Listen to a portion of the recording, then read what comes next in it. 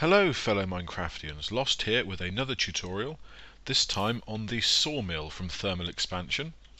Now this is running or being powered by a redstone energy cell via redstone energy conduit. I have a separate tutorial on this if you're interested.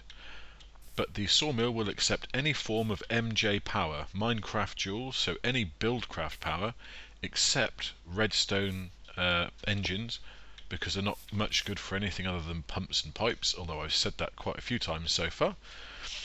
Um, it needs 2 Minecraft joules per tick to work at full operational speed. And also, you can change the direction that it faces using a crescent hammer or buildcraft wrench. And you don't need to any special tools to pick it up, just pick it up with a pickaxe. Nice and simple.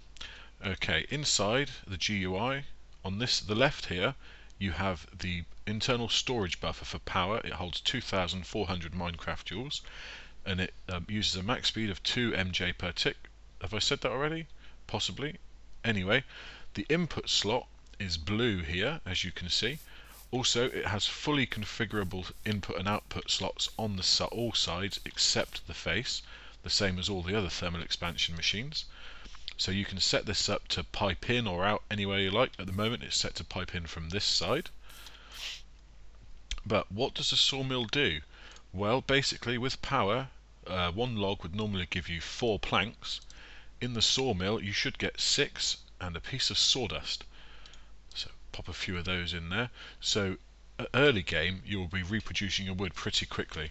But with a Steve's Cart tree farm you really don't need to be running any of these it would just be a waste of time, but they are handy and I shall show you why in a second. Now if you get 8 sawdust, you can reuse those in a crafting grid like so to produce a compressed sawdust. Uh, oh, we can chuck it in this. If you if you smelt it in a furnace, any furnace, you will get a piece of charcoal.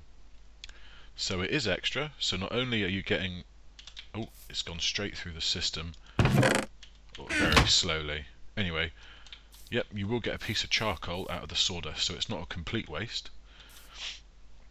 Um, it outputs on two sides, so the red and the yellow here. So your main by your main uh, product will come through the red, your byproduct will go through the yellow.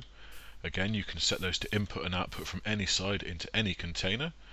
If we pop that there, all the red stuff will disappear. Oh, I've already got rid of all the red stuff. Anywho, uh, what else can it be used for apart from this, which is kind of redundant as I said?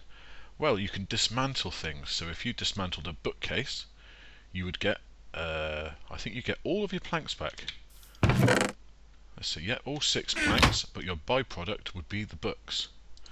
Again, you could adjust it or use pipes and have your byproduct come out there instead. Is this set to give out the bottom? It is. Okay, other things you could do. Beds. There's an awful lot of things you can feed into this, but if you popped a bed in, you would obviously get your wool as well as planks back. There we go, the wool goes out the bottom, planks have gone in there.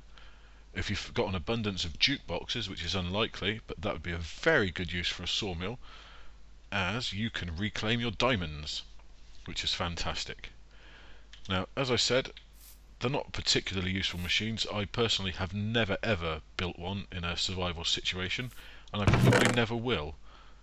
Um, but yeah, just thought I'd let you have a spotlight on it. Have fun, guys.